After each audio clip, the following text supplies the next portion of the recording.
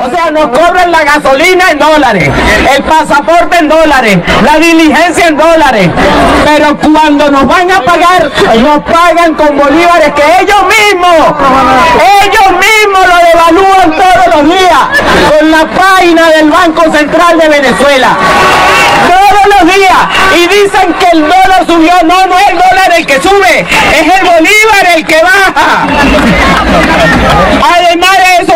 Denunciar que me he enterado aquí, me quedé estupefacta, que los obreros educacionales dependientes de la gobernación le pagan a razón de 25 bolívares semanales, qué canallada. Ni siquiera llegan a los 130 que dicen por ahí que es el salario mínimo. Lo que sí sabemos es que no queremos más gobiernos maula, no queremos más un sistema que lleva a los venezolanos a quedarse sin el pan, no queremos más chantaje. En, Caracas, no sé aquí, pero en Caracas le hacen chantaje a la gente con la bombona de gas. Si no haces lo que yo quiero, no te entrego la bombona.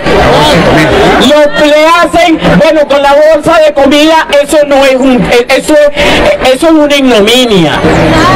Encima de entregársela a quienes lo ponen a hacer las tareas que ellos quieren que haga. Además de eso, le entregan unos granos con gorgojo, un arroz con gusanito y una harina amarilla que la muelen con la tusa y que no la digiere el estómago. Pues yo te digo, Nicolás Maduro, el pueblo venezolano no puede comer como un cerdo, porque no es un cerdo, es un ser humano.